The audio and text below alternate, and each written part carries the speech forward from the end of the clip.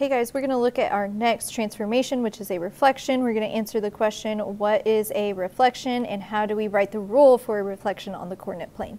So a reflection is a flip over a line of reflection to create a mirror image. Each point is going to be equal distance from the line of reflection on the opposite side. This year we will just be reflecting over the x and the y axis. Whenever you get into geometry in 10th grade, you will learn how to reflect over more lines of reflection, but this year it's just over the x and the y axis. And these are the rules. To reflect over the x-axis, you change the sign of the y value. And to reflect over the y-axis, you change the sign of the x value. So let's do a couple of reflections and see if we notice that pattern.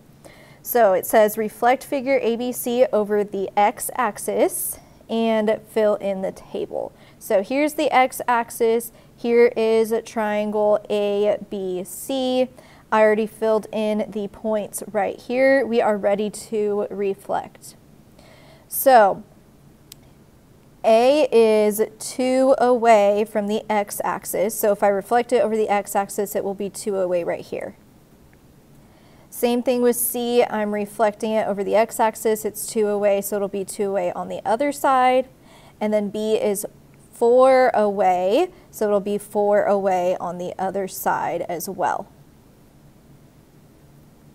And there is our reflected triangle. Both of these triangles are mirror images across our line of symmetry, the x-axis, and they're the same distance away from it. So let's record our new images. So the original A was at 2, 2. Our A prime is at 2, negative 2. Original B was at 3, 4. Our new B is at 3, negative 4.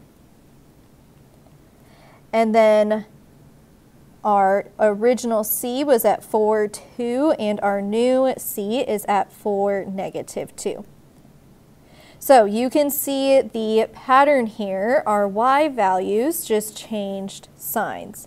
So it says, what patterns do you notice between the original and two new coordinates? What is the rule for a reflection over the x-axis? So the pattern we noticed was the y values changed signs. And the rule for that is our x coordinate stayed the same and we do a negative to show you change the sign of the y value. All right, let's look at number two. It says reflect the figure over the y-axis and fill out the table. So here is our original triangle x, y, z. I already filled out the original coordinates. Now let's reflect it over the y-axis. So x is 4 away from the y-axis here, so it's going to be 1, 2, 3, 4 away on the other side. There's our new x. z was 2 away, it'll be 2 away on the other side and then y is 3 away, it'll be 3 away on the other side as well. So there is our new triangle. Our new x is at 5, 1. Our new y is at 3, 4. And our new z is at 2, 2. So we Okay, so we reflected over the y-axis, and as you can see, our x values changed signs. So last time our y values changed signs, this time whenever we reflect over the y-axis, the x values change signs.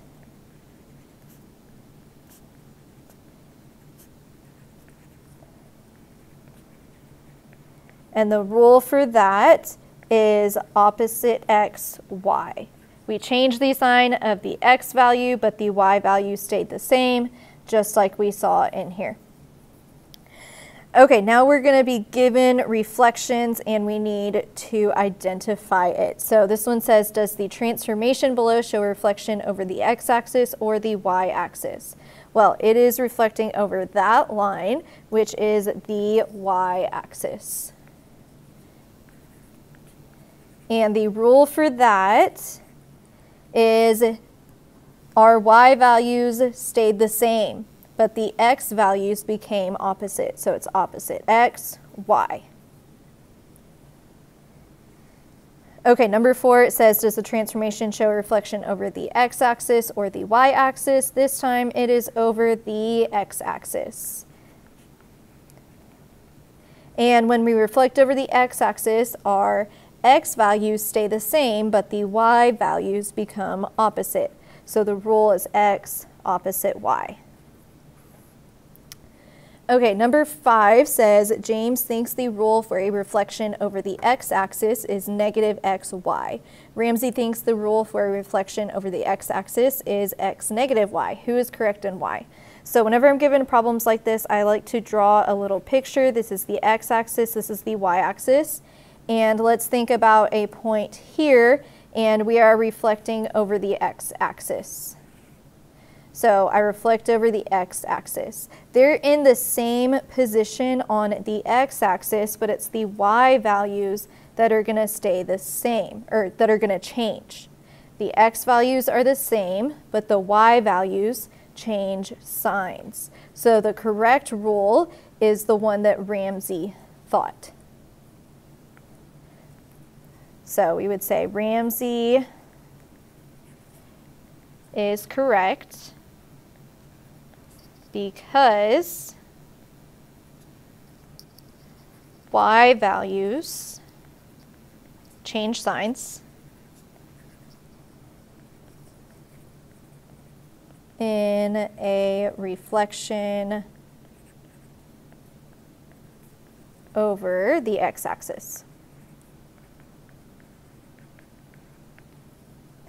All right, number six, it says Brooke thinks the reflection point of a over the y-axis would transform to the point negative 8, 10, since the rule is negative xy. Is she correct, why or why not? So we're talking about a reflection over the y-axis, and that rule is negative xy. And Brooks thinks that means you would go from negative 810 to negative 8, 10. This negative sign does not always mean negative. It means opposite. So Brooke should have changed her negative 8 to a positive 8, but she didn't. So we would say she is not correct. To apply the rule opposite x, y, you have to change the sign.